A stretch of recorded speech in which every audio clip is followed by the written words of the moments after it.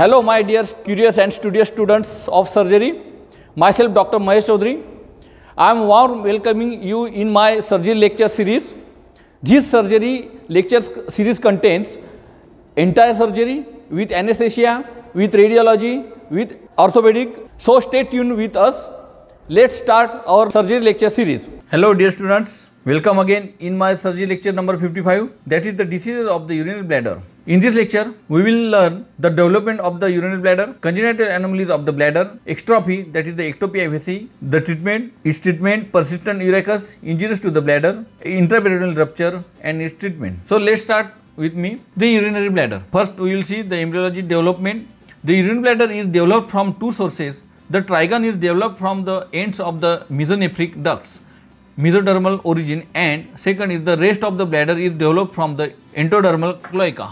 The endodermal cloaca is divided into two portions. The dorsal position forms the rectum whereas the ventral position becomes subdivided into three portions. First is the cephalic vesico-urethral portion into which the atlantoid allantoic uh, canal opens and the mesonephric ducts open. Second is the middle narrow channel, the pelvic portion and the caudal phallic portion is closed externally by the urogenital membrane. The second and the third parts contribute to the urogenital sinus. The cephalic vesico-urethral portions form the major part of the urinary bladder except the trigone. The portion of the urogenital sinus which forms the bladder is prolonged above the umbilicus in the form of the narrow canal which is termed urachus. Now the congenital anomalies of the bladder are first is the exstrophy that is the vesicae ectopia vesicae. This is due to the complete ventral defect of the urogenital sinus and the overlying skeletal system. The anterior wall of the bladder which develops from the ventral wall of the urogenital sinus and the infraumbilical part of the anterior abdominal wall fail to develop. So, not only the anterior or ventral aspect of the urogenital sinus fail to form, but also the overlying muscles and bones fail to develop. In this case, there is a big spherical or oval defect in the anterior abdominal wall below the umbilicus which is occupied by the inner surface of the posterior wall of the bladder. The mucosal edges fuse with the skin, urine spurts onto the abdominal wall from the ureteric orifices. Dear students, here is the animated picture of the bladder exstrophy, ectopia vesicae is clearly seen. There is the exposed bladder, exposed urethra, umbilical cord stump is there. This is the actual picture of the exstrophy that is the ectopia vesicae is clearly seen. This is the another image. From there, the ileocecal region is seen. The intestine, the ileum are outside of the abdomen. Now, the incidence ectopic vesicae is a rare occurrence and its incidence is once in the 50,000 births. Type There are two types are commonly encountered with complete and incomplete varieties. The complete varieties is more common and is just described. Incomplete varieties the pubic bones are united and external genitalia are almost normal and there is a epispadias. Clinical features Males are more oftenly affected than females. The ratio is 4 as to 1. Due to the pressure of the viscera behind it, the posterior wall of the bladder protrudes through the defect. This is a deep red in color and it bleeds really. Associated abnormalities The rami of pubic bones are widely separated. The symphysis pubis is absent and its place there is a thick fibrous bands. This makes the pelvic ring less rigid, the femurs are rotated externally and the child waddles like a duck, waddling gait that is called waddling gait. The umbilicus is absent, genitalia in the males, epispadias is the almost always present. The penis is broader and shorter than normal. It is drawn up and fixed to the abdominal wall. The scrotum may be ill developed. The testes may be normal or ectopic maldescended. The prostate and the seminal vesicles are often rudimentary or, or absent. In the females, the clitoris is usually cleft. The labia minora are separated. There may be anomalies in the development of the uterus and vagina. Anal sphincter is the often lax. There is a chance of hernia. Umbilical hernia may be present. There may be inguinal hernia on one or both sides. Now the complications. The exposed vesical mucous membrane is usually ulcerated with hemorrhage. It may become painful. Recurrent ascending infection is common. It may make the patient's life miserable and it is difficult to control such infection. Hydronephrosis may be caused by vesical obstruction. Continuous bad odor of urine accompanies the patient. Metaplastic changes may take place at the exposed mucous membrane of the urinary bladder and this may initiate formation of the adenocarcinoma. Half of the patient die of due to the renal failure. Now the treatment. Obviously the treatment is operation. First of all divergence of urine has to be performed. Later on, after some months, the urinary bladder is excised and the closure is done. The operation is performed between 4 and 6 years of the age. In this case, diversion of urine is done into the sigmoid colon, stricture at the site of the anastomosis, ureterosigmoidal, recurrent pyelonephritis and hyperchloremic acidosis are the reasons of the ultimate death of patients. Diversion of the urine into an ileal conduit with excision of the bladder can be performed at the 5 years of age. As the problem of infection is less, renal function is better maintained and it is better operation. It is better to do the operation. Recently attempts are being made to reconstruct the bladder and sphincters within the first year of life. At first osteotomy of both iliac bones are made just lateral to the sacroiliac joints. The bladder is closed, the urethra is reconstructed behind the pubis. The pubic bones are now brought in the midline and fixed together. The problem of incontinence is difficult to tackle. Now the next entity, next point of this lecture is persistent urachus. Embryologically, the allantois which connects the urogenital sinus with the umbilical ultimately become the urachus. Normally the urachus is obliterated and represented by a fibrous cord which is called median umbilical ligament and extends from the apex of the bladder to the umbilicus. Now the anomalies of the urachus like patent urachus, incomplete obliteration and urachal cyst. First, patent urachus. Occasionally, the urachus may remain patent so that a fistula exists between the apex of the urinary bladder and the umbilicus.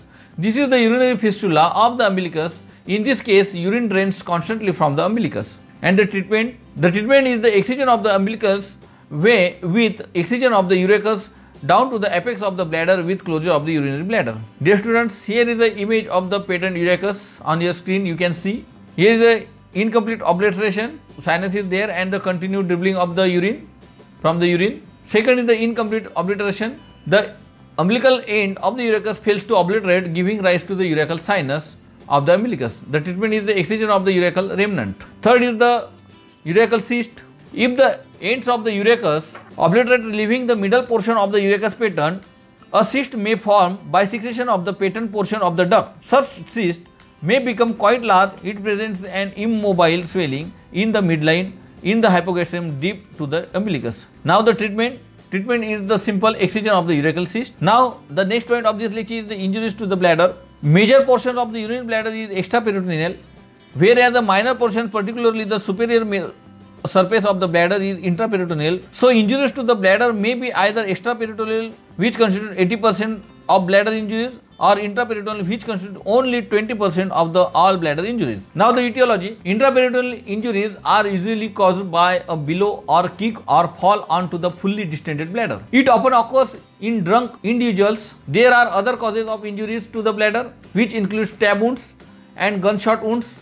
In this group, Iatrogenic causes are also included which are passage by the cystoscope, endoscopic resection and diathermy coagulation of bladder tumors and extensive pelvic operations. Pathology when the pelvis is fractured, fragments of the fracture may be perforate the bladder. This perforation usually results in the extraperitoneal rupture. This causes extravasation of the urine. Dear friends, this is the anatomy of the urinary bladder. There is a trigone. You can see the both ureteric orifices and uh, urethral opening that is the trigone is clearly seen.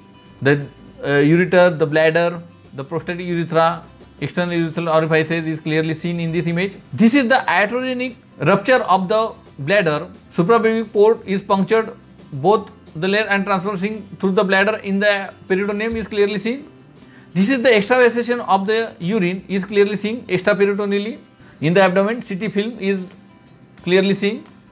Now the clinical features First is the extraperitoneal rupture.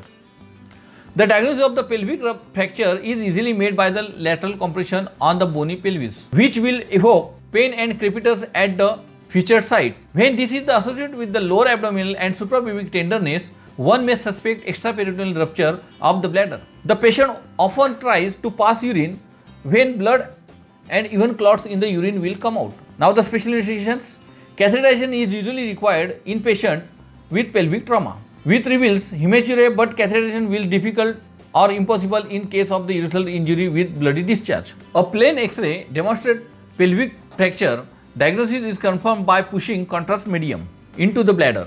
About 120 ml of sterile isotonic saline is mixed with 60 ml of 35% Hypaque or Conray and this solution is introduced into the bladder and an on X-ray an X-ray is taken. The patient is asked to pass urine and again X-ray is taken. This will demonstrate the area of the extraperitoneal extravasation with intraperitoneal rupture. This examination will show free contrast medium within the abdomen. Cystoscopy is now very helpful as bleeding and the clot obscure visualization and prevent accurate diagnosis. Here is a picture of the extraperitoneal injury of the bladder. Extravasation of the urine is clearly seen in the lateral view of the MRI film. This is also the picture of the extravasation of the urine and the extra, extraperitoneal rupture of the uh, bladder is clearly seen. Now the intraperitoneal rupture. The peculiarity of this condition is that after the rupture, the patient often neither has any complaint nor he feels the desire to pass urine because all urine is passes into the peritoneal cavity. On examination, the abdomen is distended. After a few hours, there may be the abdominal rigidity which indicates the peritonitis.